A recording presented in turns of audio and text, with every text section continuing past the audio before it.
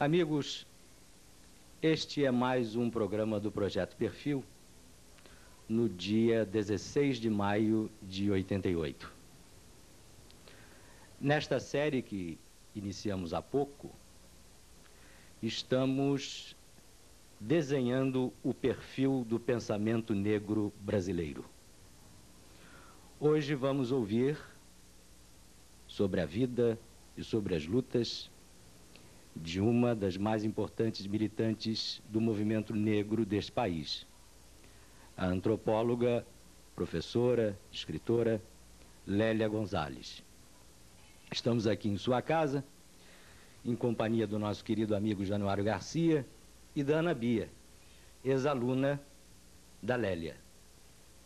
Eu, como ex-aluno da Dona Lélia também, da primeira geração de alunos da Dona Lélia, desde o tempo em que ela lecionava filosofia no Colégio de Aplicação da então Universidade do Estado da Guanabara. Tivemos então um contato em que nós começamos a viver e a ver este mundo e este país, ambos muito jovens, porque a Lélia, naquela época, estava se formando no curso da Universidade do Estado da Guanabara. A partir daí, fomos trilhando os nossos caminhos e, felizmente, continuando as nossas lutas, coisa que fez com que pudéssemos hoje estar aqui juntos para falarmos a respeito disto, deste país, deste mundo e, fundamentalmente, da luta do negro. Lélia, uma praxe, a única praxe que tem esse programa uhum. é a seguinte: a primeira pergunta não é uma pergunta. Uhum. Você dá aí para o pessoal o início da tua vida, infância, primeiros estudos, irmãos, etc. Uhum. E depois a pergunta, as perguntas correm frouxas à vontade dos entrevistadores e à certo. vontade da entrevistada. Tá legal. Com a palavra, Lélia. Bom, eu nasci em Minas Gerais, é, fui a última, a penúltima de uma família de 18 filhos. Mas, mas na verdade, eu só, ah, o conjunto de irmãos né, que eu conheci, nós éramos 13.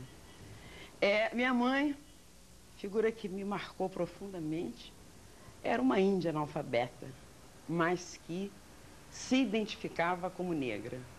Meu pai, o velho ferroviário getulista, né, que deixou então a tradição na família né, de, de, de é, nós nos voltarmos sempre para as causas né, dos trabalhadores, evidentemente, porque nós vivíamos isso na prática.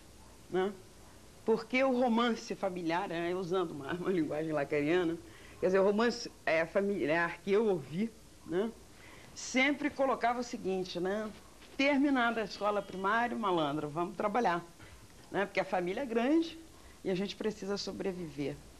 E, e nesse contexto, então, eu fui a única que realmente é, é, é, ultrapassei a escola primária. Né? Agora, isto ocorreu, evidentemente, em função de uma, um, outro, um outro fato né? Ah, dentro da família. Me recordo ainda, era muito pequena, é, em Belo Horizonte, os meus irmãos adultos né, jogavam futebol e tal, e um deles, é, que jogava no Atlético Mineiro, foi convidado, foi trazido para o Flamengo, né? foi jogar no Flamengo. E na medida em que ele se deu bem, então ele chamou, ele trouxe a família toda para cá. E era Jaime de Almeida, e foi uma pessoa também que me marcou profundamente também em termos é, da minha própria formação. É porque isso depois, isso eu fui saber depois fazendo análise, etc. Tal que eu fui, né? é, é, ligando os circuitos. Ligando os circuitos. Na verdade, o meu pai simbólico foi o Jaime. Né? Porque, veja, os meus companheiros de infância, né, além do meu irmão mais novo, eram sobrinhos. Né? E, os, e os meus sobrinhos tinham pais e mães jovens, né? E o meu pai já era cabelos brancos, etc., porque ele era bem mais velho que a minha mãe. E a minha mãe não era bastante jovem com relação a ele. E mãe é mãe, né? Também é importante dizer isso.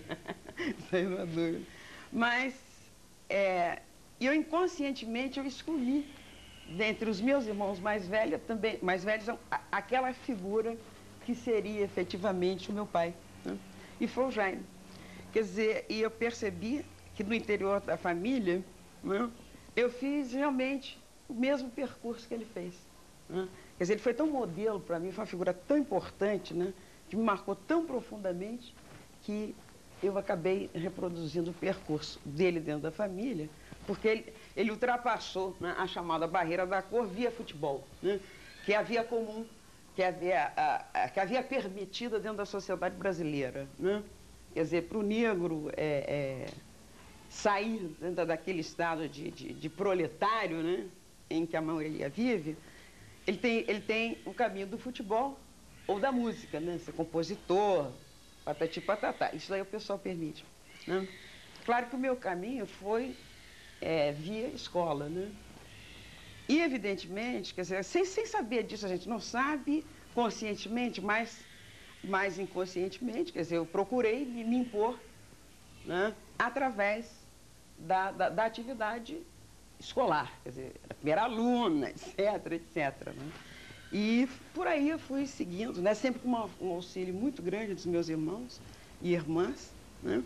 Eu me recordo perfeitamente que cada um dava uma coisinha, né? Uma irmã dava um sapatinho, outra dava meinha, outra fazia uniforme, etc. Né? E estudei com muita dificuldade. Os livros eram livros emprestados pelas colegas, então eu ia estudar na casa das colegas, etc. Né? Enfim, até chegar à universidade.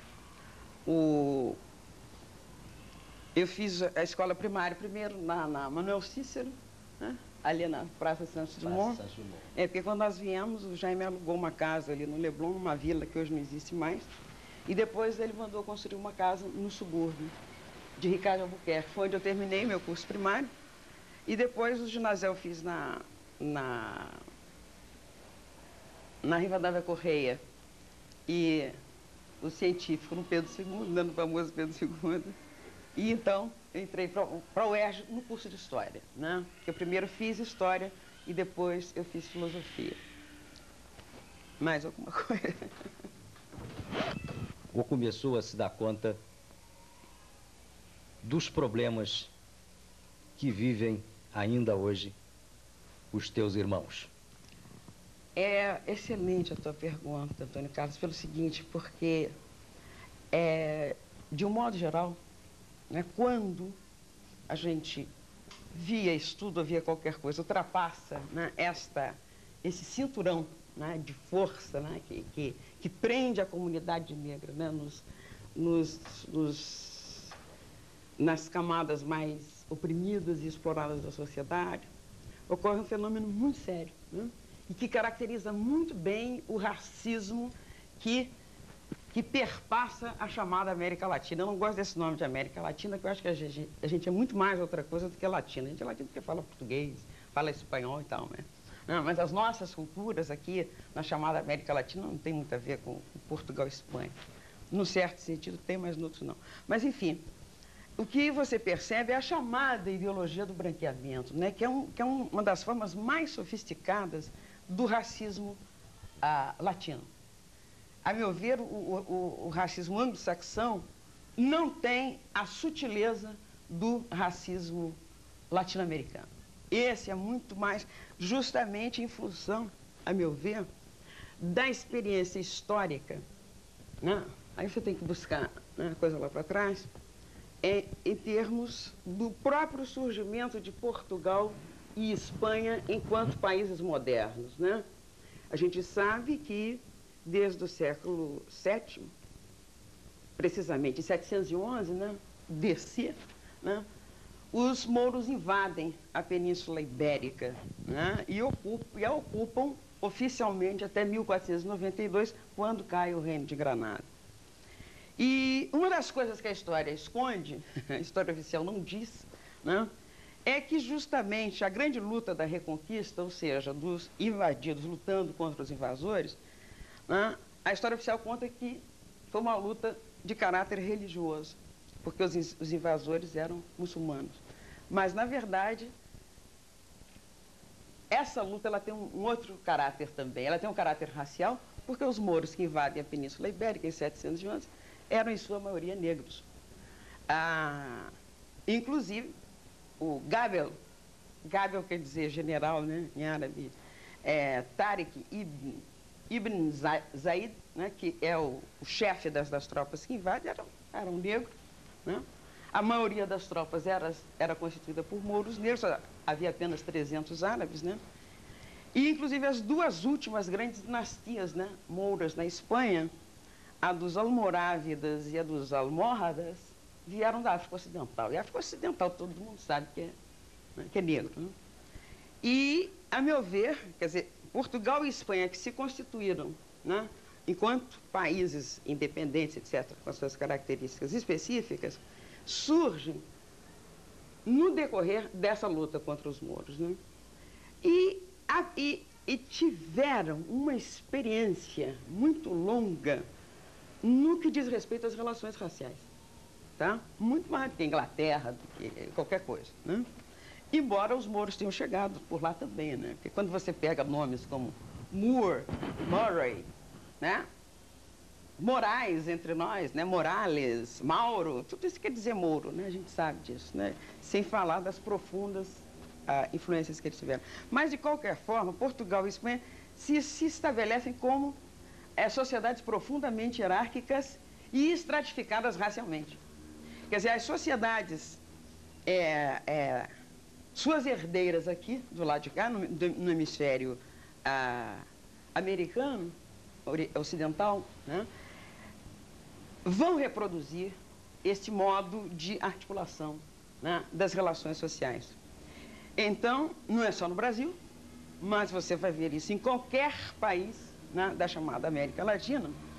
Você vai ter um contínuo de cor, né, as pessoas são classificadas pela cor, que vai desde o preto, né, o preto-preto, no caso do Brasil, o preto-preto ao branco-branco, né, passando por milhares de denominações que, de certa forma, apontariam para uma subida na, na, na escala social. A gente vai ver isso ah, na Colômbia, no Panamá, no Peru, na Bolívia e por aí afora, a mesma coisa. Né? Quer dizer, então, a própria hierarquia racial é, sustenta o grupo branco como grupo dominante. Quer dizer, veja, eu, estou falando no sentido é, cultural mesmo. Né? E, e, o que se irradia a partir daí, evidentemente, o grupo branco como sendo a classe dominante, né? é, ele, ele detém os meios de comunicação, ele detém todos os aparelhos ideológicos né? é, possíveis e passa para os grupos dominados, né? que são racialmente diferentes, culturalmente, etnicamente distintos, né? passa a sua própria ideologia. Né? que é a de, de, da afirmação de um eurocentrismo né, e a afirmação da superioridade da raça branca com relação a qualquer outra. No caso da América Latina, fundamentalmente com relação a índios e negros. E, e quem ascende nessa escala, como foi o meu caso, passa por um processo de lavagem cerebral, né, em que você vai esquecendo as suas origens. Tá? Até o momento em que a vida né, te dá um, uma porrada na cara, aí você acorda e vê, peraí. Né? É, mas a gente sempre sabe, né? É, depois depois de, de, de, estudar psicanálise, depois de fazer parte, de ter sido uma lacaniana assim de quatro costados, a gente sabe, né? E o Lacan diz né, que o, o próprio, o, educan, o educando, perdão, o analisando, é ele quem sabe do seu problema. Né? O analista só ajuda a pontuar. Né? Então acontece o seguinte, no meu caso específico, eu passei por um processo de branqueamento muito grande. Na medida, enquanto na escola primária não, enquanto na escola secundária não. Quer dizer, na, no ginásio, né? Porque eu estudei no ginásio público, né? Havia muitas meninas negras junto, a Rivadavia nessa época era uma escola feminina, muitas meninas negras, mas quando eu já chego no Pedro II, a coisa mudou de figura. Né? que é um fenômeno que se repete até hoje na sociedade brasileira, né? que a gente sabe que as crianças negras, né, ah, elas não aguentam né, esse sistema educacional que está aí. Né? Tanto por razões econômicas, a meu ver, quanto por razões, ah, por razões econômicas até atraentes, né? porque tem a merenda, não sei o que, etc. Mas, do ponto de vista ah, da, da, da filosofia, da política educacional e das práticas educacionais, não dá para aguentar, não. Porque o processo é sempre de, de massacre né? e de estilhaçamento da identidade. Né? E eu passei por isso. Quer dizer, quando eu cheguei à universidade, né, eu já estava embranquecida. Eu já estava embranquecida. Quer dizer, era uma jabuticaba assim de quatro costados, né? Que nós no movimento negro a gente chama de jabuticaba o crioléu, aquele crioléu de alma branca, né? Quer dizer, pretinho por fora, branco por dentro, mas um caroço que não dá para engolir. Né? Quer dizer, e quando eu cheguei na universidade foi mais terrível ainda, né? Eu era uma ilha negra cercada de brancos por todos os lados, né? E que brancos, né? Pô, você imagina, né? Mas, é, de qualquer forma, e, não, e, e, a, e, a, coisa tão séria, essa ideologia do branqueamento é tão séria, eu sei porque eu vivenciei né, profundamente, que eu cheguei a um ponto que eu, eu, eu não gostava de, de música popular. Samba, essas coisas não eram comigo. Né? Gostava de música erudita, chamada música erudita, né? Que é a música clássica dos europeus, como nós temos a nossa música clássica também. Né? Nós negros temos a nossa música clássica, né? Os europeus querem impor a música clássica deles como sendo a maior música. Dá licença, eu gosto muito, mas né, nós também temos a nossa música clássica. Né? Mas, de qualquer forma, é, eu vi, inclusive, isso através da análise, que a minha escolha da filosofia tinha a ver com esse branqueamento. Porque filosofia né, é o quê? Né? É o suprassumo do pensamento ocidental. Né? Depois eu fui descobrir que a filosofia não é o suprassumo do pensamento ocidental, mas que os filósofos, que os filósofos gregos, né, abeberaram-se, sem dizer a fonte, né, na, na, em todo o pensamento filosófico egípcio, é claro. que é negro. Né? Quer dizer, isso eu fui saber há muito pouco tempo. Né? O Weiss, no outro dia, estava falando a esse respeito. Sim, e é importante a gente constatar isso porque é, inclusive, a, a, minha pesquisa vem se desenvolvendo nesse sentido, né, de resgatar né, essa, essa história nossa. E você constata, então, quer dizer, aqueles, aqueles gregos que eu achava tão divinos e maravilhosos, homens né, estavam acima do bem e do mal por causa do seu saber, etc. Tal, quer dizer, a minha escolha da filosofia passou pelo branqueamento, sem sombra de dúvida. Hoje eu não tenho dúvida a esse respeito. Mas, de qualquer forma, ela foi importante, né? Eu tive a oportunidade de ter alunos como você, né? Aquela turma toda, né? E, bom, e foi justamente, eu era muito boa aluna, etc e tal, enfim, né? E acabei sendo convidada para lecionar na universidade. Mas foi aí nesse momento, e você o conheceu, né? É quando é, eu acabei me casando com um homem branco, né? Daí o meu nome Gonzales. Né? E, e foi justamente esse casamento é que foi a porrada que eu levei, no sentido de voltar né, à minha própria comunidade e de me dedicar a ela e de, enfim, eu estava casando. A, você sabe da minha história com o Luiz Carlos, que eu não, é muito difícil para mim ainda hoje falar sobre isso, mas de qualquer forma foi. É, ele teve um papel muito importante, porque no momento, veja só, esse é um dos aspectos fundamentais também com relação à mulher negra neste país. Né? É, quando nós nos casamos, ele estava brigado com a família, etc. Né? E nos casamos lá em casa. Nos casamos na segunda-feira, aquela bagunça de universidade. O juiz que nos casou era, era pai de um colega, enfim. Fizemos aquela zorra, né? aquela coisa gostosa. Né? E, enfim, e eu que fiz com que ele retornasse às boas relações com a família. O interessante é que eles me trataram muito bem de início, porque eles pensavam que nós não estávamos casados, né? que eu era, era um caso. Né? E sempre aquela velha coisa que, que pinta na cabeça né? dos, do, dos racistas né? desse país. né? das famílias racistas desse país. Bom, esse, esse é um caso aí, coisa de mocidade. Amanhã ele se casa com uma moça de boa família. Né? E nessa linguagem, né, uma das, das, coisas fundamentais, a meu ver, é o resgate dessa linguagem racista, né, que perpassa, né, inclusive, as falas mais progressistas. Né, quando ninguém fala nos, nos, tempos negros da ditadura, né, você está vendo que é, que é, uma linguagem racista.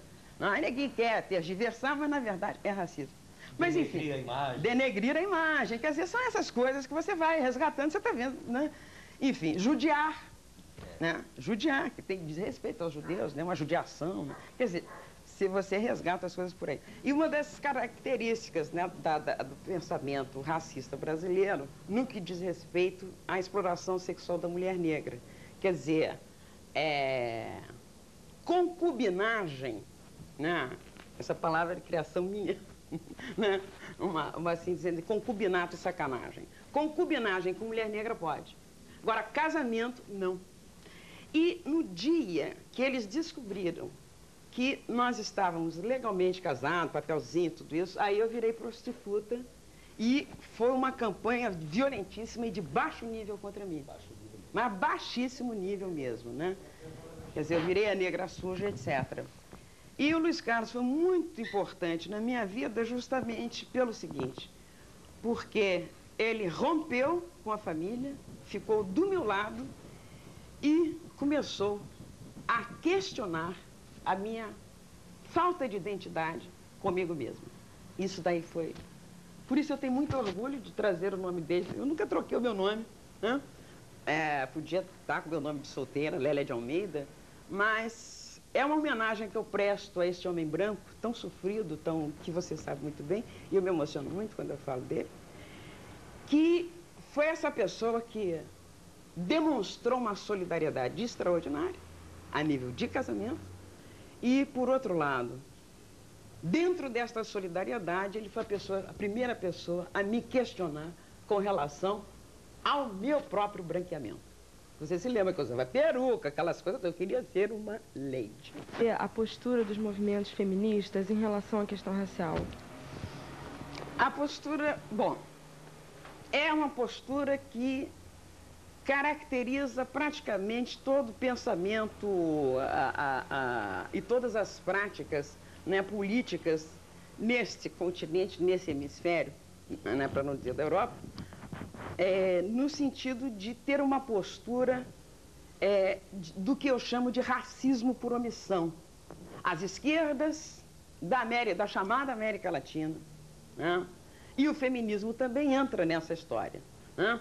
Na medida de que ainda estão dentro da ideologia da, da hierarquização, da ideologia da estratificação racial, quer dizer, o olhar feminista, o olhar da, das pessoas de esquerda com relação ao negro é sempre um olhar de cima para baixo, né? quer dizer, nós somos os inferiores. Eles não prestaram atenção no discurso do Agostinho Neto. Não, é claro, né? Não, é um desconhecimento encantador né, dessas coisas. Então, o que a gente vai perceber é que é interessante você perceber que um, um, um segmento, né, que também é, é, é, muito oprimido no interior de uma sociedade como a nossa, e que, de repente, né, reproduz as práticas racistas. Tá? E, a meu ver, e esse racismo, né, que, é, que é, caracteriza o racismo da América Latina, eu chamo racismo por denegação. Né? Aí eu uso uma categoria do pensamento lacaniano, né? é que quando você nega determinada coisa, você está justamente afirmando. Né? E no caso da, da, da, da chamada América Latina, o, a, os termos que nós vamos ouvir são miscigenação, né? É, integração, é, democracia racial, etc., que é um modo de você né, chutar para escanteio a questão racial. E o feminismo, nesse sentido, é tão eurocêntrico quanto o pensamento de esquerdas e as práticas também, né? E, e da direita, evidentemente, né? das, das oligarquias dominantes. Né? Nesse sentido, fica todo mundo no mesmo, no mesmo barco, né? que é uma contradição muito grande, a meu ver. Né? É, a nossa luta tem sido muito grande, é, enquanto nós estamos dentro do movimento feminista, né? e, e eu me recordo é, de um encontro que eu pertenço a Development Alternative with Women in a New Era, e que do lado de cá ficou como mudar, né? Mulheres por um desenvolvimento alternativo. Em dezembro passado, nós tivemos um encontro regional para a América Latina e em La Paz. Agora, interessante é que as representantes da Bolívia eram brancas, né? E você sai na rua, você só vê índio, né? Então, foi por aí que eu comecei a discussão, que eu fui lá para isso mesmo, né? para colocar com muita veemência a questão, a questão da dimensão racial no movimento feminista. E, felizmente, né, foi tão intenso, persistência, encheu o saco, né? embora a expressão seja maciça. Toda... Enche o útero. É, enche o útero do pessoal, né? Exatamente, temos que ser. É, com essa questão da, da dimensão racial. E elas finalmente acabaram se convencendo, né? inclusive em julho próximo vai sair um número da revista ISIS Internacional, que é uma revista do feminismo, e é, que é específico a respeito do mudar, e lá é, terá um artigo meu cujo título é Por um Feminismo Afro-Latino-Americano. Tá? E no Brasil a coisa é pior ainda, sabe? Eu, eu percebo que a nível de, de exterior, né, são poucas as companheiras do movimento de mulheres que são efetivamente solidárias e que compreendem né, a, a situação da mulher negra. Já vista aquela reunião que houve lá em, tem um ou dois anos, se eu não me engano, lá em São Paulo, em São Sebastião, ou Ubatuba, e que o, o, o, o, pessoal da cor ficou todo do lado de fora. Todo, todo do lado de fora, né? Porque, inclusive, que é um dos problemas né, do movimento social, e aí né, é, é, é o problema da partidarização, né? Quer dizer, você entrar numa de partido político. E foi muito interessante porque a coisa tem dois aspectos, né? Que foi o mulherio negro pobre, né? Que conseguiu um ônibus aqui a duras penas, né? E que foi para lá. E não deixaram entrar porque disseram que essas mulheres negras eram, eram enviadas do Leonel Brizola. Quer dizer, eu acho engraçadíssimo. Quer dizer, esse, medo né, do Brizola que o pessoal tem, né? E isso articulado com uma postura racista, né? Quer dizer, as mulheres negras e pobres não, não, não, não participaram né, desse, desse encontro feminista latino-americano né, que houve aqui no Brasil. Benedita e eu pertencemos a esse conselho. Você constata que nos textos nada da dimensão racial é colocado. Quer dizer, eu já enchi o saco, sabe? Quer dizer, reproduzam aí a ideologia dominante, né? Porque, realmente, agora, este ano, sim, como é o centenário da abolição da escravatura, né? que a nossa é o centenário da Lei Áurea, né? Ah, então sim, houve uma produção de, de, é, de, é, de, de, é, de propaganda, da televisão, quer dizer, chamando atenção a respeito da questão da mulher. Mas até então sempre foi um silêncio muito grande. São poucas as companheiras brancas. Agora, essas são de fé, né? que quando se juntam, aí não tem. São poucas, mas elas valem por mil, diga-se de passagem. Né? O que significa dizer que, no teu entendimento do movimento negro, você não descarta a participação dos brancos? Não, de forma nenhuma. Não. Inclusive, está né, tá aí o presidente né, do Instituto de Pesquisa das Culturas Negras, né, o Januário, nós temos lá no IPCN vários sócios brancos. Agora, evidentemente que não vamos é permitir que os brancos tutelem. nos tutelem. Chega de paternalismo, né, malandro? Essa história desse país né, se caracteriza por isso, né? E como nós também, em termos de movimento de mulheres, não vai permitir que homem nenhum venha né, nos, nos dar as, as estratégias a serem desenvolvidas. Nós é que temos que descobrir. Afinal de contas, em movimento de mulher não há de ser homem que dá a luz, né? Exatamente. Né? e, nem, e nem branco no movimento de, de negro também, né? Quer dizer, aproveitando a expressão. Né? Quer dizer, é, é, é por, é pela nossa autonomia que nós lutamos. E os nossos erros somos nós que temos que vê-los, né? Para podermos acertar. Né? Nesse sentido, eu acho que autonomia do movimento social da maior importância, fundamentalmente a autonomia do movimento negro e do movimento de mulheres. Agora, eu gostaria só de dizer que, para nós mulheres, né, a gente fica mais ou menos no meio do caminho entre dois movimentos, né? O movimento negro e o movimento de mulheres. Porque no movimento negro já no, a nossa contradição também está presente. Né? A gente percebe que há um profundo sexismo por parte dos nossos companheiros do movimento negro. É, eu estou aqui sentado, estou pensando o seguinte, por um lado e para o outro. Uma pergunta que eu quero fazer a Lélia é o seguinte. O negro, desde que chegou aqui neste país, ele sempre se colocou em oposição ao sistema. Ele sempre esteve à esquerda do sistema, à medida em que ele sempre foi excluído desse sistema. E no decorrer desses quatro séculos e meio, surgiram vários expoentes negros da, da área acadêmica, vários pensadores negros. Como até hoje, na contemporaneidade, isso também ocorre. Agora, dentro de uma análise histórica, Lélia, a pergunta que eu faço é o seguinte: por que que este segmento, que podemos chamar assim intelectual, ele nunca esteve mais articulado com a base, com a base de luta, com a base, hoje no caso, o movimento negro. Nós sabemos que hoje nós temos vários grandes expoentes do pensamento negro no Brasil.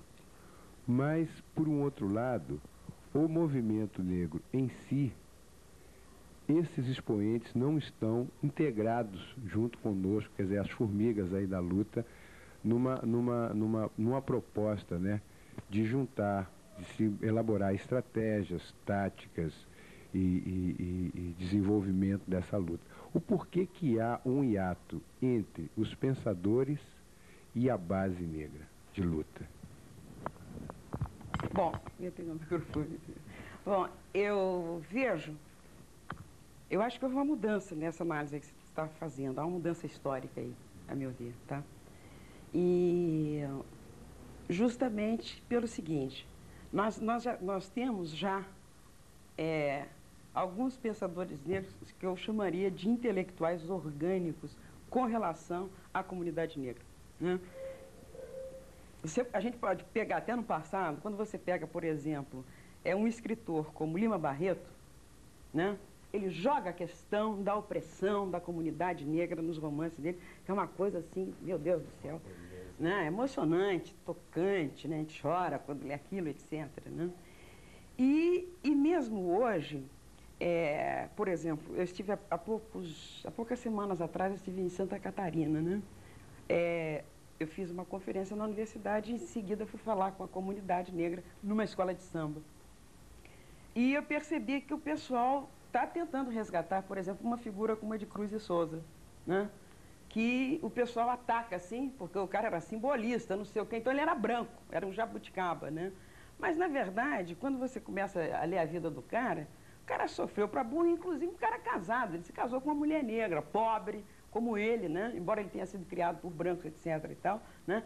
Ele tentou deixar né, alguma coisa na, na, na, a, na obra dele, no trabalho dele, nas lutas dele, que apontassem né, para essa sua, sua hum, ligação com a comunidade. O Joel Rufino mesmo se refere ao Cruz de Souza, na análise que faz da, da, da sua obra e tudo mais, como ela tendo aquele impressionismo e aquela sensualidade que são característicos, os dois aspectos, da melhor tradição do pensamento negro. Exatamente, né? E acontece o seguinte, eu acho que, que claro que o Machado de Assis aí não dá, né? Aí, aí não dá, ele era, ele era branco, né, como dizia o pessoal, né? Liano. Mas enfim, mas a gente vai perceber que os pensadores a respeito da questão negra sempre foram brancos, né, Junório? Né? Hoje é que nós estamos percebendo que está se formando, é, é, estão se formando quadros né, de intelectuais negros que pensam a questão negra. Né? Porque você veja, quem é que falou sobre nós né, nessa perspectiva de relações raciais no Brasil, etc. Né? Quem começou foi aquele esquecimento ativo né, aquele baiano lá, aquele mulato baiano, como era o nome dele? Escreveu Elina Rodrigues, né, que, que olhou a comunidade negra com, né, que encarou a comunidade negra com um olhar branco. Né? Mas você tem ao, ao lado dele, né, e que é pouco, e que foi devidamente marginalizado né, pelas, pela academia, você tem o Manuel Quirino, que era um homem da comunidade, que escreveu sobre a comunidade, que nunca se desligou dela. Agora, ele foi devidamente marginalizado. Né?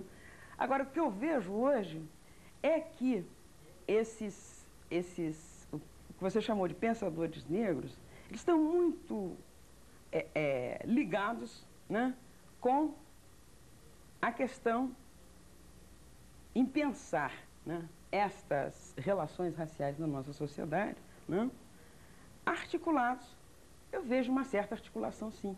Né? É claro que alguns se distanciam, né? e aí ainda, ainda são os modos né, de olhar segundo uma perspectiva eurocêntrica de que o intelectual tem que ficar afastado, né, apesar do Gramsci, né, né, que o intelectual tem que ser aquela figura que fica distanciada do povo, que o povo não entende, né, etc. E, tal, né, e, e eu acho que, de certa forma, nós temos que reverter isto. Né, porque quem pensa o movimento negro?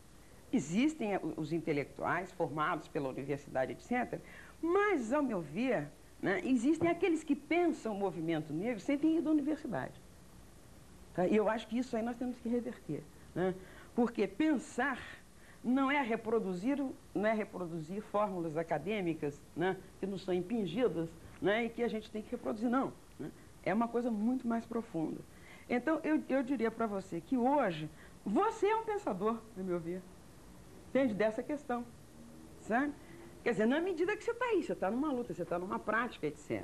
Né? E por outro lado, Januário, em matéria de distanciamento, por exemplo, eu percebo que o próprio movimento negro, até um determinado momento, esteve distanciado das, da, das bases, da, da, da, comunidade negra. Né? Pelo menos na, na, na, década de 70, né? A gente percebia muito esse tipo de questionamento. Como chegar à comunidade? Quer dizer, um, um olhar, a meu ver, também branco. Tá? Porque ninguém tinha medo de chegar junto da comunidade. Quer dizer, subir o morro, conversar com o pessoal, transar, fazer acontecer. Agora, eu acho que hoje, nós, quer dizer, nós os intelectuais negros, né, que estamos pensando junto com os, com os outros pensadores, né, estamos, estamos juntos, sim, eu acho que estamos. Né? Quer dizer, a nossa prática, eu acho que o importante que tem que ser colocado aí é que a nossa prática é uma prática que exige, realmente, é, exige uma exige um tempo danado. Quer dizer, de repente não dá para você ir numa reunião do movimento negro, porque você está lendo um texto que vai ser fundamental para esse próprio movimento, né? no sentido da, do, do, do, movimento é, é, é, desenvolver as suas estratégias e aprofundar né, a questão, a grande contradição que existe na sociedade é brasileira. É uma questão básica de área de trabalho. É, porque, a meu ver, eu acho que a questão da militância, né, a gente tem que pensar eu acho que a tua, a tua, a tua pergunta é fundamental por isso, porque ela coloca em jogo né, um repensar da questão da militância. Né? É, nós, do movimento negro, nós, nós herdamos né, é, dos militantes de esquerda né, esse tipo de prática. A gente acha que militar, sair para a rua, fazer, jogar panfleto, não sei o quê. Tudo bem. Mas há níveis, formas né, eu acho que a militância ela é multiforme. Né? Níveis, né? né? Ela tem diferentes níveis. Quer dizer, eu me considero absolutamente uma militante do movimento negro. Claro. Eu me considero mesmo, porque inclusive eu, eu cresci foi dentro. Né? Eu devo a esse movimento, quer dizer, é, o, meu, o meu amadurecimento político, intelectual, né? e, e um movimento negro que não é só do Brasil, mas que está por aí. Né? Quer dizer, os, quando você e você sabe disso, né? Você, você tem tido esses contatos também. Mas quando a gente está em contato com, com o pessoal do movimento negro, por exemplo, é, de alguns países né, da chamada América Latina, dos Estados Unidos e mesmo da África, que não podemos esquecer a luta né, na África do Sul, né, a gente percebe que, que há uma troca de experiências muito grande, a gente vê que o nosso problema é efetivamente comum. E, e, eu vejo militância aí, né? Quer dizer, no momento que a gente está discutindo, no momento que a gente está numa uma aula que você esteja dando, Claro. A gente tem que estar tá fazendo militância. Né? Num texto que você esteja escrevendo, ah, dos Estados Unidos, ah, Molef Keti Assanti, que acabou de escrever um livro chamado Afrocentricity, onde ele diz que nós não podemos é, continuar cativos de uma linguagem racista. Né? E linguagem quer dizer pensamento. É. Né? Então, é importante que a gente, a gente se, se esforce, né? entregue a vida mesmo, no sentido de tentar reverter toda essa situação. Bom, uma outra pergunta que eu gostaria de colocar para você é o seguinte. O, o Prêmio Nobel de Literatura, o nigeriano Rousseau Inca, ele deu uma entrevista interessante no Jornal do Brasil, falando sobre toda essa questão racial e até, até, até fez uma colocação importante, como começou o centenário na abolição no Brasil à medida em que as tropas militares cercearam os direitos civis dos negros, de nós negros em fazermos a nossa marcha. E ele faz uma crítica bastante salgada, né, bastante ocre, à sociedade americana, né? mostrando a sociedade americana como a, a, a decadência desse, desse, desse momento. Né? E ele e me chamou a atenção sobre aquela música We Are the World, à medida em que esta música foi feita por negros. Como é que você vê essa relação, né? À medida em que o negro americano chega e ele diz que nós somos o mundo. Como é que você vê isso? Bom, eu vejo nessa questão, we are the world, nós somos o mundo. É, é uma crítica muito bem colocada e que, por coincidência, eu fiquei muito feliz ao ler esse artigo, porque eu, eu também estava acabando de chegar dos Estados Unidos, eu vim justamente no dia 11 para nossa marcha que foi impedida devidamente, bloqueada, né? pelo exército brasileiro, cujo patrono é o Duque de Caxias, né? e, e pela Polícia Militar. E eu vinha de um encontro, né, de um encontro de mulheres, de mulheres negras, né, que era promovido pelo Caribbean Cultural Center, onde é um encontro internacional de mulheres negras.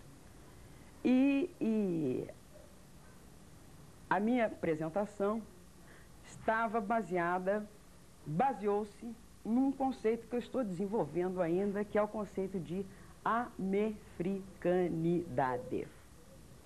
E justamente é, é, tentando resgatar uma experiência histórica comum, né, vivida né, pelos negros de todo o continente americano. E, e, que é muito semelhante. Muito semelhante porque as sociedades são as mesmas em última instância. Quer dizer, pode, você pode ter uma diferença de tempo, né, a nível de consciência, a nível de, do chamado desenvolvimento socioeconômico, etc. Mas, é...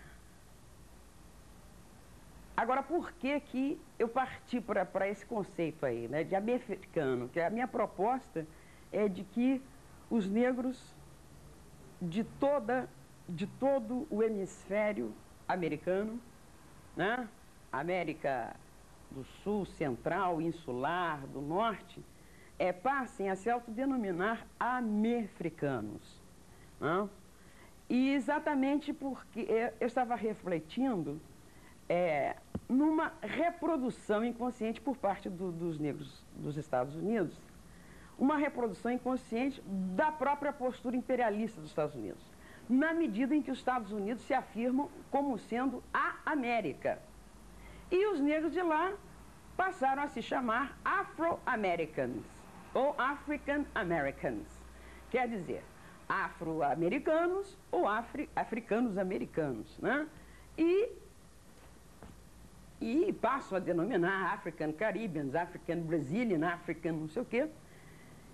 O que, a meu ver, não só reproduz né, o imperialismo cultural, político, ideológico dos Estados Unidos, né, na medida em que eles se autodenominam af africanos americanos, né, e, por outro lado, porque é, eles há uma hierarquia, uma hierarquia então se estabelece entre os negros dos diferentes países deste imenso continente chamado América.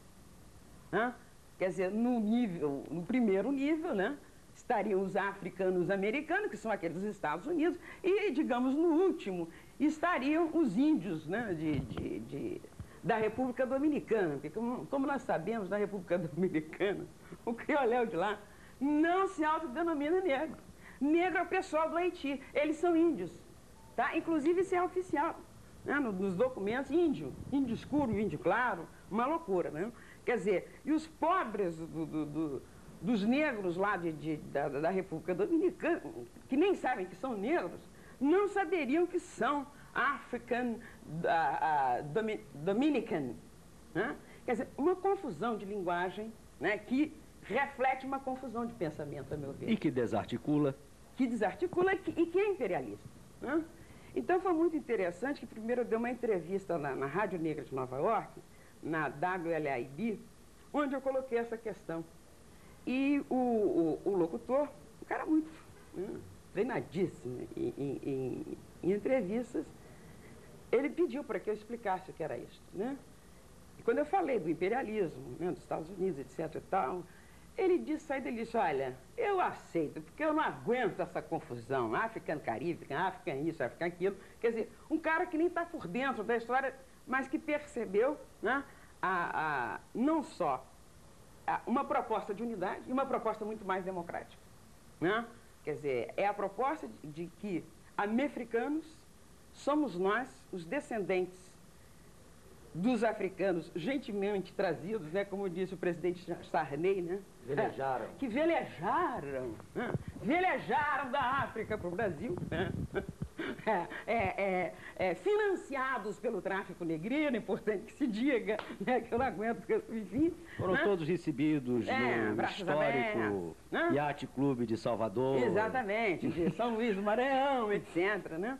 Quer dizer, e, quer dizer, não só dos africanos que foram escravizados, quer dizer, americanos para mim, né?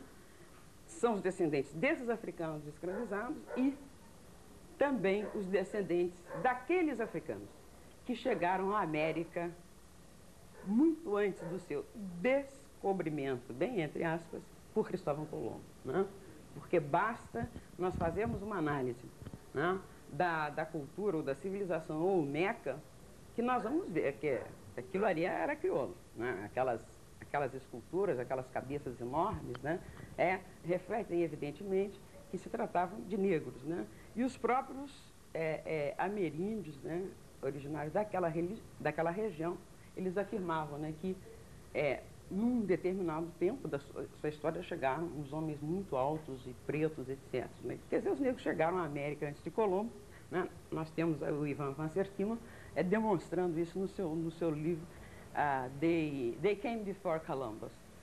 Então, veja, é, me parece que esta crítica que o, Solin, o Soyinka faz, ela é absolutamente é, pertinente, eu fiquei muito contente por, por isso, né, que eu estava acabando de chegar de lá, né, e denunciei para eles mesmos. Agora, o interessante é que a esquerda negra fechou imediatamente, né? Quer dizer, me telefonaram disseram, companheira, é por aí mesmo, sabe? É uma postura muito mais, uma, uma, muito mais democrática né? e unitária. Agora, eu vejo nisso uma necessidade também, quando eles se chamam né, de African Americans. Né? E no meu texto eu faço uma, uma brincadeira, né? Quer dizer, isso aí que eu falei, African Americans, African Equatorians, African Brazilian, Africanistas. Aí eu pergunto, e como é que os African, os verdadeiros African, Africans, o que, que eles pensam disso? Porque efetivamente, para nós, né, negros aqui, desse hemisfério, quando vamos à África, a gente, a gente percebe que existe uma diferença. Né? Há uma história vivida né, pelo continente, pelos, pelos, pelos nossos irmãos do continente africano, que é diferente da nossa. E dou um exemplo. Há poucos, em fevereiro, eu estive na Nigéria e consegui arranjar um tempinho para visitar os santuários né, do nosso querido candomblé. E no caminho estávamos seguindo para Ilê-Ifé, né, que, é, que é considerada, é a cidade santa mesmo, né, dos, dos, dos Yorubas. Né? E eu perguntei, eram dois, dois, duas pessoas, dois homens da universidade que estávamos levando, a mim e a Neuma Guiar. E então eu perguntei qual era a religião deles. Os dois responderam imediatamente que eram cristãos. Aí, bom, continuou o papo, né? continuamos conversando, etc. Quando eles perceberam, né? quer dizer, o meu respeito, a minha, o meu encanto, enfim, tudo isso por estar indo né? a Eleifé, aí um deles então revelou, olha, mas eu acredito em Oxum, porque eu não tomo banho quente, né? porque nós fomos depois, em seguida, a, a Oxogbo, que é a cidade de Oxum. E, então você percebe isso, quer dizer, o colonialismo funcionou na cabeça do africano de uma maneira diferente da nossa. Porque para nós o candomblé foi resistência. Quer dizer, esta religião né, que veio da África foi uma forma né, de uma resistência extraordinária desse, desse povo negro no Brasil, na Jamaica, em Cuba, etc., de manter a sua identidade. E que aqui no Brasil foi oficialmente perseguido até 1946. Exatamente. Justamente pelo que, pelo que, pelo que ele representa. Né? Quer dizer, as comunidades terreiras, a gente vê uma estratégia assim incrível, né? Que eu acho que são estratégias de acomodação e de resistência, que você vê, quando você pega, por exemplo, o caso da Irmandade Nossa Senhora da Boa Morte na Bahia, né? É uma irmandade peculiar, porque ela, ela só, era, é, só é constituída por mulheres negras. E é justamente desta irmandade, né? porque estrategicamente, o que, que fez o escravo? Ele se adaptou às instituições do dominador. Né? Agora, nesse meio tempo, justamente nessas, nessas, nessas, nessas brincadeiras, nesses folguedos, ou nessas instituições, como no caso das Irmandades, eles buscavam rememorizar né, a sua própria história. Né? É que a gente vai ver em determinados tipos de congadas, né, onde se canta aquelas embaixadas, rei, rainha, príncipe, etc., né, que o olhar branco, boçal, a este sim que é boçal, né, porque eles chamavam de boçais os africanos que, que não sabiam falar português, é, boçal porque imperialista, né, porque racista, né, eles achavam que os negros estavam reproduzindo as estruturas monárquicas da, da Europa. Né? Quando nós sabemos que as monarquias africanas são muito mais antigas, basta a gente pegar a monarquia do, do, do, dos, dos, reis de Achante, né? Pante Achante, né? Muito mais antiga do que a monarquia da Inglaterra, do que essas monarquias, todas são muito mais recentes. Mas, enfim, são diferentes porque são mais democráticas. Né? Porque quando o rei estava é, tendo uma postura anti, anti-povo, ele era, ele era obrigado a tomar uma cicutazinha né? para parar com essa história. Mas, enfim, é, a gente percebe, quer dizer, por esse pequeno fato que eu estou contando aí, quer dizer, lá o pessoal tem vergonha de dizer que acredita nos orixás. Aqui, a crença nos orixás foi um modo, foi a, a articulação né, da, do, da, da tradição dos orixás dentro das comunidades terreiras foi uma das formas mais incríveis de resistência que nós tivemos no Brasil. Né?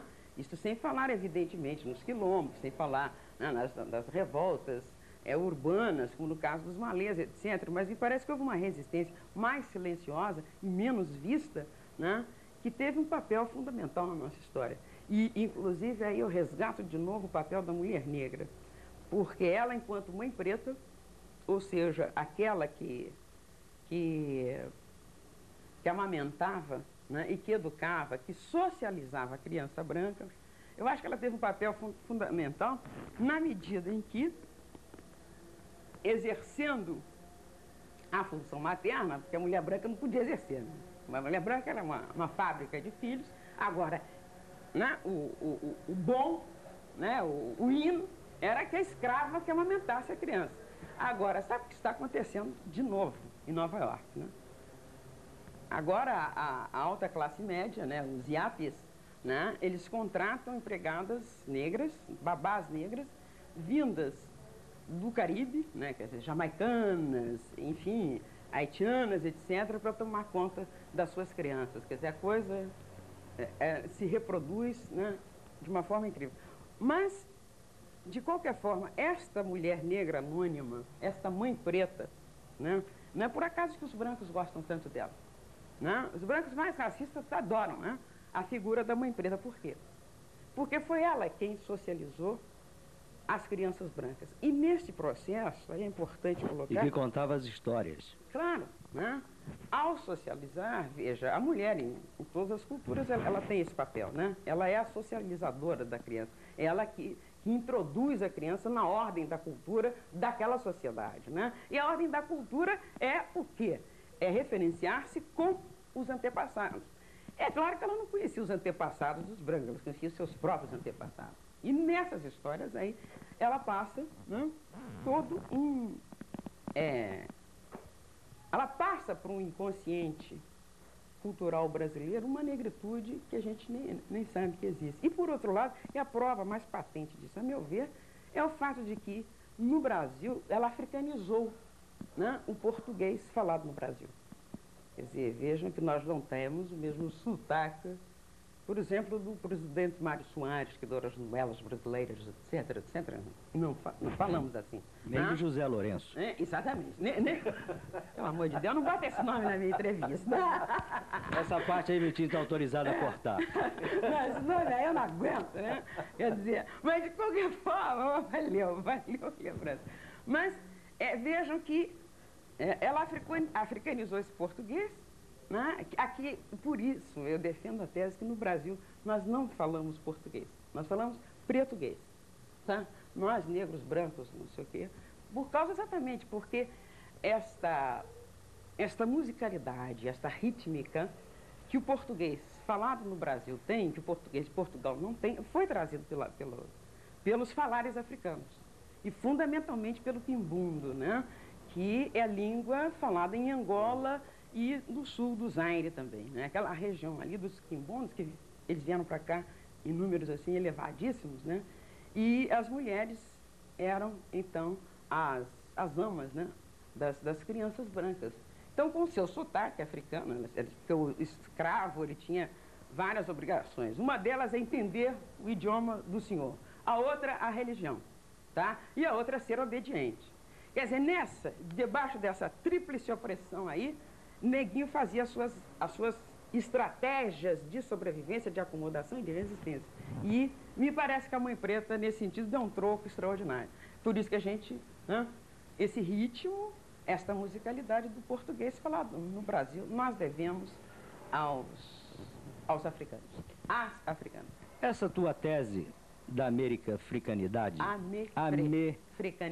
Africanidade. É América mais África. Mais África. É ela me parece interessante por uma razão.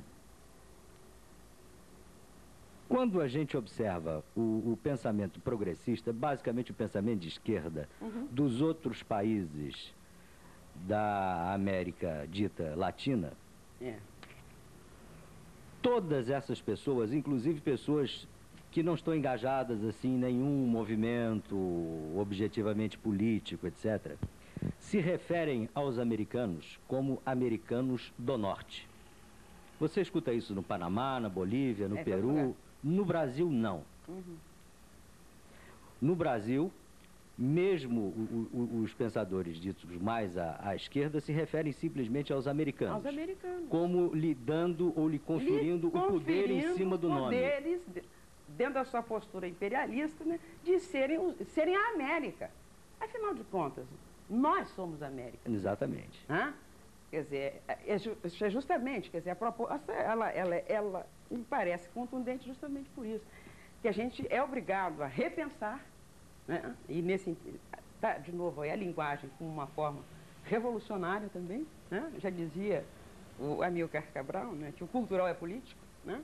Quer dizer, nós temos que, me parece que, temos que repensar isso daí.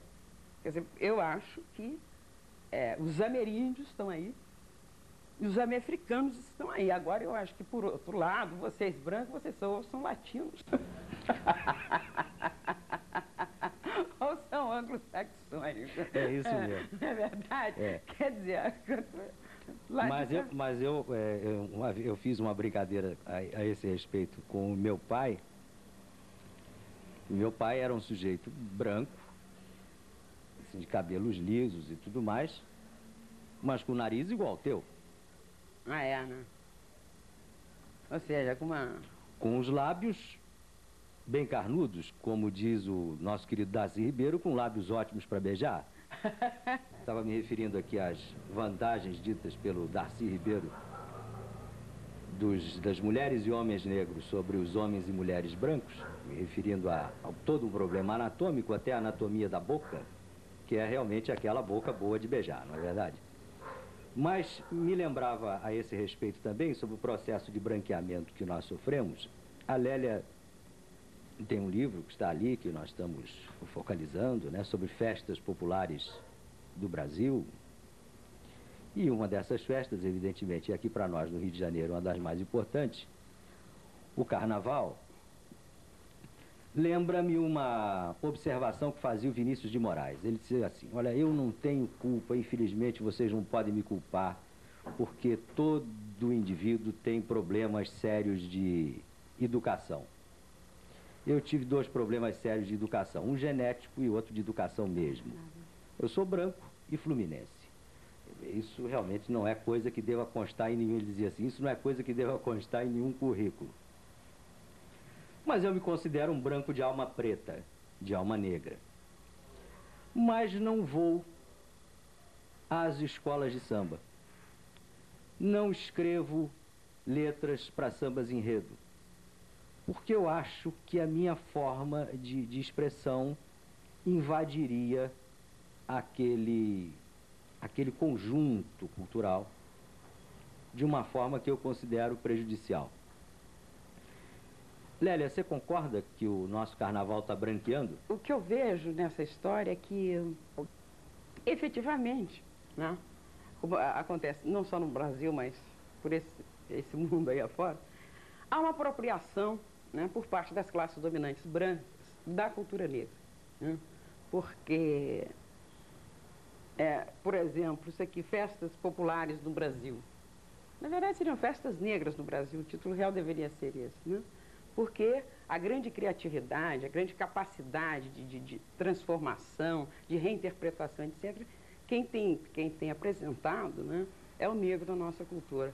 Agora, na medida em que é, esse, o, o, próprio sistema capitalista né, chega a todos os recantos da sociedade, evidentemente que ele chegou às escolas de samba. E é por aí que se explica efetivamente esse branqueamento, né, essa invasão né, de uma classe média, etc., né? Poucas escolas, eh, a gente vê, por exemplo, caso de uma Portela, me espanta ver a Portela como a Portela embranqueceu. É, e, e, por outro lado, veja você, Beija-Flor, que, é uma, que, é uma, que é conservadora, né? agora eu acho que é por causa da presença do João 30, o negro ainda é mantido, ainda aparece nos carros, etc. Né? Mas o que se percebe é isso, é o capitalismo que invadiu mesmo, e na hora que invade, quer dizer, é, é, a escola de samba virou um produto cultural que é rentável, então o pessoal chega e toma conta, né? Quer dizer, mas eu acredito nessa, nessa capacidade né, de, de reformulação, de recriação da comunidade negra, sabe? E nós temos um exemplo disso aí no, no soul, no funk, coisas que tais, né? Que o criolhão está tá aprontando, está né? correndo por fora das escolas de samba. Isso já há muito tempo.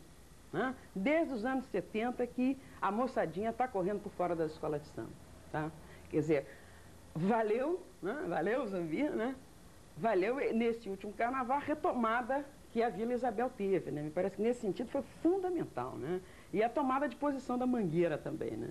E da própria Beija-Flor, que de repente também, né? quer dizer, veio dentro da questão da, escravidão, da, da, da, da, abolição, mas negando essa abolição também, né? passando por cima dela. É assim que eu vejo a questão. Tá? Estamos correndo por fora. Bia. Velha, assim, ao longo da, da minha formação acadêmica, né, é, quase que em oposição ao que a gente tem vivido dentro do movimento negro, é, eu tenho sentido a afirmação de uma verdade, quer dizer, claramente racista, de que o negro não participa da sociedade, do desenvolvimento das sociedades, na medida em que a raça negra não tem uma antiguidade. O que, que você diz disso? A começar, eu te respondo dizendo o seguinte, né? Os estudos, os últimos estudos arqueológicos, etc. e tal, né? É, confirmaram, né? O homem, a humanidade surgiu na África, né? E, E esse homem que surge na África, ele migra. Né? Ele vai migrando, ele vai, vai para o norte. Né? Com o, o, recuo das geleiras, ele vai avançando, inclusive chega à Europa, chega ao sul da Rússia, etc. Né? E por processos, né? segundo alguns especialistas, né? processos do, é, é, relativos ao meio ambiente, ele vai se transformando, né? porque em determinadas regiões não há necessidade de melanina, né? por causa da incidência dos raios solares, é mais, é, é mais tangencial, e invernos muito fortes, etc. Né? Em primeiro lugar, isso, quer dizer, quer dizer, todos os brancos, amarelos, etc., vieram de negros, né? que o primeiro, a humanidade surgiu na África. E, em segundo lugar, é que a grande mãe civilizacional do Ocidente foi o Egito. Né? Egito este que foi, é, cuja civilização né, é produto da criatividade, do gênio criador né, de povos negros. Né? Quer dizer, nós sabemos perfeitamente, e aí está o Sheikh Anta Diop que iniciou esse tipo de trabalho, e eu estou lendo agora um texto de um autor judeu chamado Bernal, que, é, cujo, cujo livro se chama Black Athena, ou Atenas Negra, né? onde ele vai demonstrar tranquilamente que o processo, isso o, o, o Sheikh Anta Diop já havia chamado a atenção, o processo de arianização da Grécia começa do século XVIII para cá. Né? O famoso iluminismo, essas coisas todas, né? Quer dizer, começam a embranquecer efetivamente a Grécia e, e, os Egito, e o Egito também. Né? na medida que o Egito era o grande centro de, de, de produção científica, filosófica, enfim, né? É, que havia na antiguidade, como nós temos hoje a Europa, como nós temos hoje os Estados Unidos. Se você quiser fazer um bom curso de qualquer, de qualquer coisa, você procura universidades europeias, etc. E tal. Na antiguidade era o Egito. Né? E e os próprios é, é, gregos, né, os, os, contemporâneos dos egípcios, afirmavam efetivamente né, a negritude do povo egípcio. E, e os próprios gregos também afirmavam que é, eles, eles, eles foram colonizados, né, receberam, enfim, esses contatos culturais, vieram sobretudo do sul, quer dizer, do Egito, e do Oriente. Né? Quer dizer, nunca do norte, na verdade. Né? Então, é, quando nós vemos, por exemplo, determinados conceitos que estão aí presentes na filosofia, né, e o James, George James, autor de um livro chamado A Herança Roubada, The Stolen Legacy, ele prova por A mais B, juntamente o Bernal também se apoia nele, para demonstrar que de Tales, de Mileto, Aristóteles, né, todos aqueles conceitos da famosa filosofia grega já estavam né, na Teologia de Mênfis, cujos, cujos é, papiros né, estão no Museu de Londres. Quem, quem, quem, sabe ler hieroglifo pode ver isso. Quer dizer, então não dá. Né?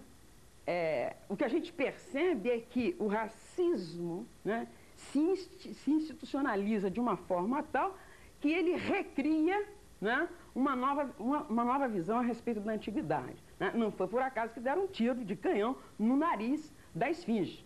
Porque o nariz da esfinge era assim, né, mano?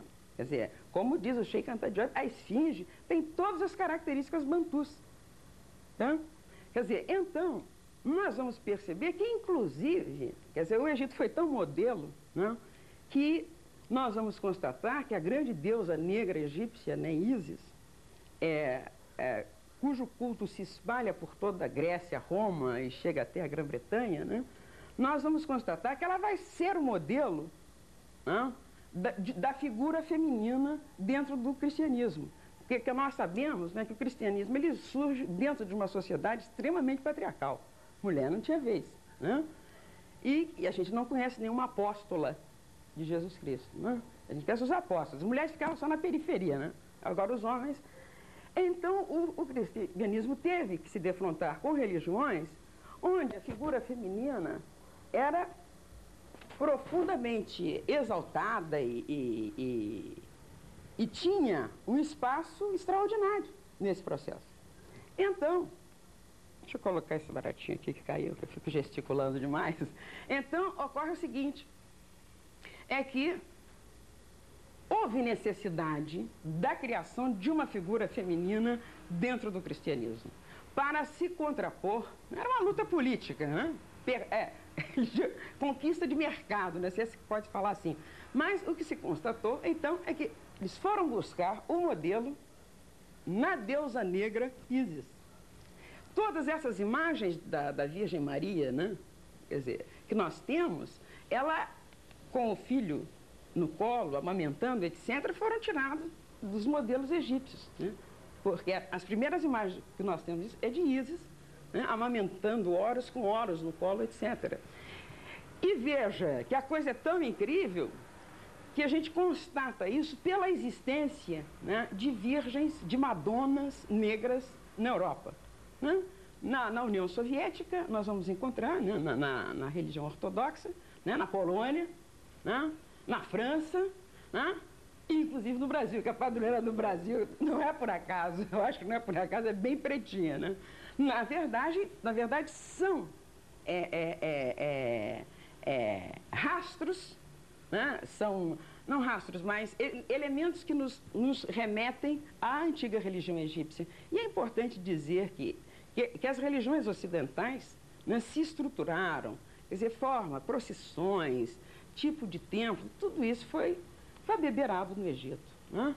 Quer dizer, então me parece que, me parece não com certeza, né, nós temos que pensar para o futuro. Parece que a grande tarefa nossa neste final do século é justamente erradicar esse racismo que está presente, inclusive, né, numa ciência, né, nas ciências sociais, nós sabemos disso, né? e nas, nas outras ciências também, porque está provado que toda ciência é ideológica. Né? Então, partindo dessa base né, que afirma uma superioridade do branco, né, do homem branco, né, europeu, ocidental, né, nós estamos no processo, num processo de demonstrar que efetivamente a o Egito teve um papel fundamental na formação desta humanidade do lado de cá, ocidental. E esse Egito era negro e que não adianta mais, né, porque a comunidade negra né, cada vez mais está, está consciente disso. Nós temos uma pleiade de intelectuais negros né, que estão trabalhando nesse sentido. É, inclusive, eu me sinto, por exemplo, nesse momento, eu me sinto muito orgulhosa eu acabo de ser é, convidada para ser vice-presidente do Congresso Mundial de Intelectuais Negros, né, que vai se realizar em 1990 na Universidade Lincoln, na Filadélfia. Universidade Lincoln é uma universidade negra. Né? E eu me sinto assim honradíssima, que são, são cinco vice-presidentes. Sinto profundamente honrada, por exemplo, de estar ao lado né, de um intelectual, de um pesquisador negro extraordinário, como Teofilo Benga, né, que dirige o Centro de Investigações sobre a Civilização Bantu. Né? Quer dizer, estamos trabalhando e a gente vai reverter esse processo sem sombra de dúvida, porque hoje é mais do que nunca. Né, né, e a gente sabe que o racismo ele tem formas distintas. Nós percebemos né, no Brasil um fato de que aqueles brancos que sempre foram né, os, os sujeitos e nós os objetos da pesquisa deles, né, eles estão começando a ficar preocupados porque nós, intelectuais negros, né, já começamos a nos defrontar com eles no próprio campo, tá? no próprio campo da academia. Né? E, evidentemente, claro que eles vão nos acusar, como nos acusam, né? de racistas, disso, daquilo, porque a gente está mostrando que o rei está nu. Né? E que a nossa proposta não é absolutamente de, no sentido de, é, de negar, né? dizer que nós, nós é que somos os superiores. Nós, não, não é isso. É dizer que nós contribuímos de tal forma para o desenvolvimento da humanidade que é, nos surpreende essa postura racista, portanto, é, desumana, né? É, porque eles tiram a nossa humanidade, mas eu acho, né, como diz um, um psiquiatra negro que eu estou lendo, né, que o, racismo ele faz, ele é uma, uma ideologia é, é, típica do, do, daquele cara que não é nem neurótico nem psicótico, mas é o psicopata. Né? É, é, uma, é uma, uma ideologia é, psicopática, né? que não, não, não, não dá a menor atenção para as questões de ética, para as questões de humanidade, etc. Eu, eu estou em pleno, de pleno acordo com ele, porque eu acredito que para o século XXI, né, e a nossa luta se desenvolve nesse sentido, ah, espero que nós possamos já ter erradicado da face da terra essa coisa chamada racismo, estas, essas desigualdades socioeconômicas né, que existem no mundo. Porque, afinal de contas, brancos, negros, amarelos, índios, fazemos todos parte de uma mesma, de um mesmo mundo. Né? E é importante que todos nos unamos no sentido de que no próximo século estas diferenças, estas desigualdades que estão em termos do racismo, que me parece que é a pior, a pior arma né, desse mundo ocidental hoje, né, a, as desigualdades econômicas, sociais, etc., possam ter sido né, erradicadas do nosso planeta. Porque senão, malandro, não, não, não vamos ter jeito, né? Porque esta, esta, esta cultura ocidental, a sua grande marca, a meu ver, né, é a de uma profunda agressividade. Não agressividade no bom sentido psicanalítico, mas de agressão, de desrespeito, né? de não reconhecimento do outro enquanto diferente. Né? E, e esta postura é uma postura evidentemente psicopática. Bom, Lélia, as fitas que trouxemos aí estão chegando aos seus estertores. Mas foi bom terminar essa sua entrevista com esta observação a respeito do racismo e, mais do que isso, a respeito da grande possibilidade que temos, uma possibilidade concreta de erradicar esta mancha branca. Exatamente. No século XXI. Eu te agradeço muito pela gentileza de nos ter recebido aqui. Ah, isso. E fico muito feliz que tenha sido com você a primeira participação da mulher neste volume que vamos preparar e neste conjunto de vídeos que vamos preparar sobre o pensamento negro no Brasil. Muito obrigado. Obrigada a vocês, a vocês, toda a equipe toda aqui presente, né? aos companheiros que vieram uh, participar da entrevista. Né? E eu felicito muito vocês por essa iniciativa. Né? porque isto é, coincide né, com a proposta do movimento negro a respeito deste ano em que as autoridades oficiais estão celebrando o centenário da abolição. Nós não estamos. Né?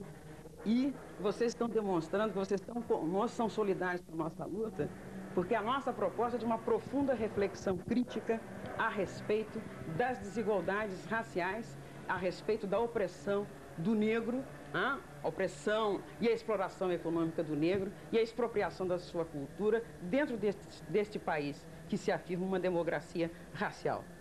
Felizmente, no dia 11, né, dada a presença né, do Exército, do, Duque de Caxias e, e da Polícia Militar, né, foi feita até uma proposta por parte de uma das nossas companheiras que o dia 11 de maio seja considerado o dia em que caiu a máscara da democracia racial, do mito da democracia racial brasileira. E eu sei que vocês estão conosco, e eu agradeço também, né? E me sinto muito feliz e muito fortalecida para continuar na luta, né, malandro? Que não é fácil.